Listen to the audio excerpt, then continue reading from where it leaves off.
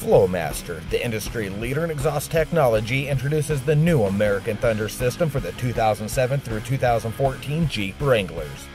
This catback single tailpipe system is designed to accommodate both two door and four door models and features 2.5 inch mandrel bent tubing for maximum flow. This system utilizes our compact HP2 series muffler, and we've relocated it from the factory rear location and tucked it up into the frame rails out of harm's way. And we've also rerouted the tailpipe to run up over the rear sway bar for maximum ground clearance.